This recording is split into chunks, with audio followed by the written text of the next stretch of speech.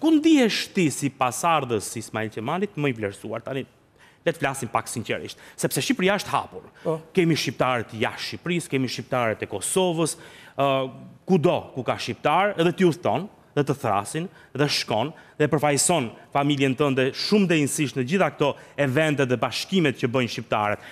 Ku e ndjen atë dashurinë më të madhe, atë atë dhe dashurinë dhe dashurinë e madhe për familjen tënde? Tani unë po jap një dëshmi. Ha. Unë kam pas një lloj pune që kam bredhur gjithë Shqipërinë edhe Kosovën gjithë. Po. Mhm. Dhe ne shqiptarët kemi zakon që sa takojmë një person që s'e njofim, i themi si e ke emrin dhe nga je. Dhe nga je, e vërtetë është. Unë nuk kam nevojë të them nga jam, se sa i them emrin dhe mbiemrin. Po, e bëjnë lidhjen. Me përqindje, përqindja më e madhe për mu, vetëm fjalë më të mira për familjen time dhe për Ismail Qemalin. Patjetër. Kështu që unë veten time e ndjej mirë gjithandej, e kam ndjerë gjithandej. Unë kam pas një lloj pune, kush më njeh e di, mhm. kam bredhur gjithë Kosovën, domethënë nuk kam lënë cep të Shqipërisë dhe të Kosovës. Dhe gjithandej e kam ndjerë veten mirë. Nuk diskutohet që në Kaninë e ndjej më mirë akoma. Na, eh. ah, normale, eh. vendi yt, okay. Po tani përveç këtyre, le të themi, shpërblimit moral që në një moment të caktuar i është mohuar familjes suaj, Po ndonjë shpërblim tjetër a ka nga shteti shqiptar jo, apo po asgjë? As e kemi kërkuar ndonjëherë çfarë shpërblimi? Jo, po them. Ne na intereson vetëm, na intereson që të dalin pa figura e Ismail Beut sa më mirë, sa më ashtu siç ka qenë. E vërteta. Të dalë e vërteta, e vërteta. praktikisht. E vërteta. Të dalë e vërteta siç ka? Dhe e vërteta është shumë e kollajtë, shumë e drejtë. Ndërsa gënjeshtrat kanë kanë zigzage. E vërteta është një gjë e drejtë.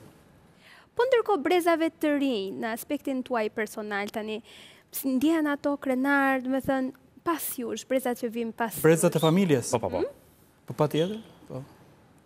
Patjetër. Po si mos jesh krenar? Ndjen këtë peshën. Janë me miqtë, me shokët, e ndjen që hej. E ndjejnë, tani është dhe mosha se janë djemtë e mi dhe dhe djali i vllait janë akoma atë moshën një çik të akoma po e ndjejnë sepse vetë vetiu Dalin muhabetet, kuptohet, që të jesh pinjolli i themeluesit të shtetit shqiptar, është një nder i madh. Është një nder i madh, është dhe një përgjegjësi. Edhe përgjegjësi dhe krenari dhe neve besoj se deri tani atë përgjegjësinë e kemi. Jo, jo, e keni që ç'ke me të. E keni, e keni dhe mirë shumë madje. Ndonjëri nga pinjollët e familjes, a është politikan? Jo. Jo, nuk e keni menduar ndonjëherë që t'i futeni politikës për ta shpëtuar këtë vënd, ndoshta... Jo, vëndi jonë është shpëtuar. Jo, vëndi jonë është shpëtuar, jo, nuk e kemi... Ok. Mhm. Nuk jeni futur, shiko tani. Një gjë tjetër, dokumentacione keni? Keni mjaftueshëm dokumentacione të cilat vërtetojnë të gjithë rrugëtimin historik të praktikisht krijimit të shtetit tonë shqiptar, po të Ismail Qemalit. Çfarë ka ndodhur me dokumentat? I keni të gjitha? I ka ruajtur, janë të ruajtura, i keni ruajtur ju? Ismail Beu në kujtimet e tij po. e ka thënë me keqardhje që kur u largua nga Turqia, që u dënua dhe me vdekje, po. edhe me sekuestrimin e gjithë pronave të tij, po. ai ka thënë me keqardhje te kujtimet e tij që atij Storit kur ka shkruar në ato mhm. vite, që më vjen shumë keq për dokumentat, që shumë arkivën time, ato dokumentacionin që i ngelen në Turqi. Mhm. Ndërsa për sa i përket mbas pavarësisë, shpalljes së pavarësisë, shumë dokumenta të Ismail Beut i ka pas djali i tij Qazim Beu që ka vdekë në Strugë. Mhm. Dhe ato që mund të aty haludohet se mund të ketë qenë dhe akti i pavarësisë origjinali. Dhe ato dokumenta kur vdiq ai, s'ashtu ishin ato rrethanat e kohës atëherë. Po edhe raportet mes shteteve. Por ama neve kemi, si familje neve kemi dokumentat dhe është për më tepër Ismail Beu ka dhe po të hulumtosh Ka shumë gjurmë nëpër gazetat, nëpër... Në shtypin e kohës e të tjera. Po, po, po, po, janë korrespondencat i ka pas ai, se ai ka pas korrespondenca dhe kontakte në atë kohë me elitën e Evropës. Mhm. Tani këtë nuk e them unë, po, jo, kjo është dokumentuar, po. Po, po, ishte faktuar, ishte në vetë. Dhe nuk duhet ta them me super, kështu, me, me, po, kjo është e dokumentuar, që ka qenë njeri që ka pasur kontakte me elitën.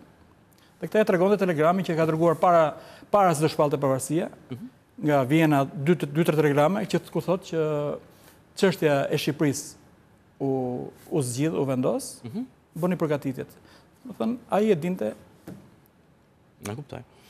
O, shumë bukur të futesh në këto në këto pjesë të historisë, të kuptosh se sa sa e vështirë ka qenë pa diskutim, Ka qenë shumë e vështirë për të arritur në ditën e shpalljes së pavarësisë, sepse ishe nën një pushtim të madh të një superfuqie, rrezikoje gjithçka, siç e the, ishte i dënuar me vdekje në mungesë, pasuria ishte sekuestruar, gjithçka, dhe atdhedashuria të bën që ti të mohosh gjithçka tënden thjesht që ti të dalësh e ta bësh këtë shtet.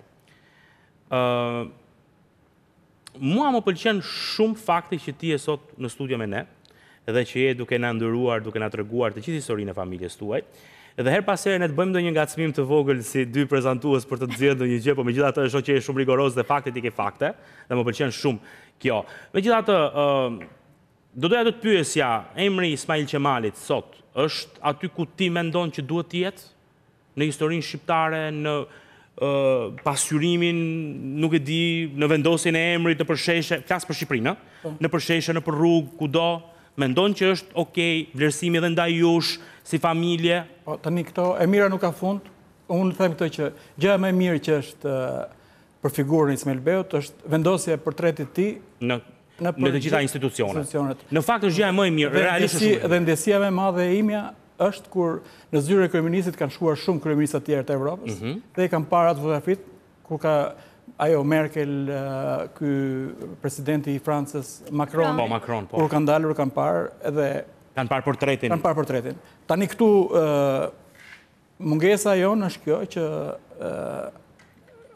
këta persona, këta personalitete, mhm. po të shohim bashkohësit e Ismail Beut, e për shembull po marrim ministri i jashtëm i Francës i asaj kohë, po. ose kryeministri i Britanisë së Madhe, i Anglisë, mhm. disa kryeministra, çarë kanë thënë për atë, do jetë më mirë akoma, çarë kanë, çarë, opinioni kanë pas për këtë njeri. Për këtë superfuqitë. Dhe unë po e thërras prapë me fakte. Këto janë faktet, kryeministri i Anglisë, mhm. ministrat e jashtëm Francës, të asaj kohe. Që flisnin me superlativa për këtë... Që kanë folur me... Dhe ai ka folur me ata në pozita të barabarta. E kuptoj, po kjo është shumë e rëndësishme, të kesh pozita të barabarta me perandori të mëdha, siç kanë qenë Britania e Madhe dhe Franca, është po. shumë e rëndësishme. Ë, nuk e di, unë të falenderoj shumë që sot ishe në program, na e bëre shumë të bukur këtë festë.